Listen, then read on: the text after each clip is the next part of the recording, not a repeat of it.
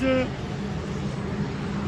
ਕਿ 16 ਦੀ ਹੋ ਹੈ।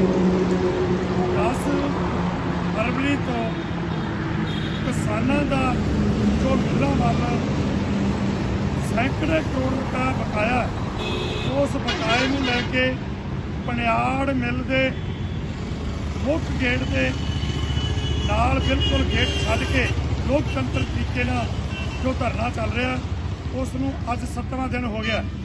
ਪਰ ਅਫਸੋਸ ਕਿ ਅੱਜ ਤੱਕ ਕਿਸੇ ਵੀ ਪ੍ਰਸ਼ਾਸਨ ਅਧਿਕਾਰੀ ਜਾਂ ਸਰਕਾਰ ਦੇ ਕੰਨ ਦੇ ਜੂਰੀ ਸਰਕੀ। ਚਾਰ ਕੁ ਦਿਨ ਪਹਿਲਾਂ ਇਸ ਜ਼ਿਲ੍ਹੇ ਦੇ ਗੁਰਦਾਸਪੁਰ ਦੇ ਏਡੀਸੀ ਸਾਹਿਬ ਆਏ ਸਨ। ਉਹਨਾਂ ਨੇ ਮੰਗ ਪੱਤਰ ਲੈ ਲਿਆ, ਭਰੋਸਾ ਦਿਵਾਇਆ ਵੀ ਅਸੀਂ ਸਰਕਾਰ ਤੱਕ ਤੁਹਾਡੀ ਗੱਲ ਪਹੁੰਚਾ ਕੇ ਤੇ ਹੱਲ ਕਰਾਉਣੇ ਆ। ਪਰ ਅੱਜ ਤੱਕ ਸਾਡੀ ਕੋਈ ਗੱਲ ਨਹੀਂ ਸੁਣੀ ਗਈ। ਜਿਸ ਕਰਕੇ ਅੱਜ ਕਿਸਾਨਾਂ ਦੇ ਬੱਚੇ ਵੀ ਤੁਸੀਂ ਤਖਤੀਆਂ ਵੇਖ ਰਹੇ ਹੋ ਇਹਨਾਂ ਦੇ ਹੱਥਾਂ ਵਿੱਚ। ਇਹਨਾਂ ਨੇ ਤਖਤੀਆਂ ਦੇ ਉੱਤੇ ਕੀ ਕੁਝ ਲਿਖਿਆ ਤੁਸੀਂ ਦੇਖ ਰਹੇ ਹੋ, ਪਾਪਾ ਮੈਨੂੰ ਕਾਪੀ ਲੈ ਦਿਓ। ਕੈਨੇਡਾ ਪ੍ਰਾਈਵੇਟ ਖੰਡ ਮਿੱਲਾਂ ਨੇ ਪੈਸਾ ਨਹੀਂ ਦਿੱਤਾ। ਪਾਪਾ ਮੈਨੂੰ ਬੁੱਕ ਲੈ ਦਿਓ। ਸੋ ਇਹ ਪ੍ਰੋਬਲਮ ਲਿਖੇ ਹੋਏ ਨੇ। ਇਹ ਮੰਗ ਕਰ ਰਹੇ ਨੇ ਸਰਕਾਰ ਨੂੰ। ਦੱਸ ਰਹੇ ਨੇ ਕਿ ਸਾਡੀ ਹਾਲ ਤੱਕ ਬੈਠੇ ਆ ਔਰ ਅਸੀਂ ਪੰਜਾਬ ਦੇ ਕਿਸਾਨ ਵੀਰਾਂ ਨੂੰ ਇੱਕ ਅਪੀਲ ਕਰਨੀ ਚਾਹੁੰਦੇ ਆ ਇਹ ਠੀਕ ਹੈ ਕਿ ਉਹ ਵੱਖਰੇ ਵੱਖਰੇ ਥਾਵਾਂ ਤੇ ਆਪਣੇ ਐਕਸ਼ਨ ਪ੍ਰੋਗਰਾਮ ਕਰ ਰਹੇ ਨੇ। ਜਿਸ ਤਰ੍ਹਾਂ ਕਿ ਫਗਵਾੜੇ ਵੀ ਹੋਇਆ, ਧੂਰੀ ਵੀ ਅਤੇ ਇਸੇ ਤਰ੍ਹਾਂ ਮੁਕੇਰੀਆਂ ਵਿੱਚ ਵੀ ਹੋ ਚੁੱਕਾ ਹੈ।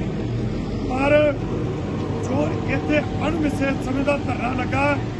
ਇਸ ਧਰਨੇ ਦੀ ਵਿਲੱਖਣਤਾ ਇਹ ਆ ਕਿ ਜੋ 14 15 ਤੋਂ ਲੈ ਕੇ ਸਾਰੇ ਸੀਜ਼ਨਾਂ 'ਚ ਇਹਨਾਂ ਨੇ 14 ਦਿਨ ਤੋਂ ਕਿਸਾਨਾਂ ਨੂੰ ਲੇਟ ਪੇਮੈਂਟ ਕੀਤੀ ਆ।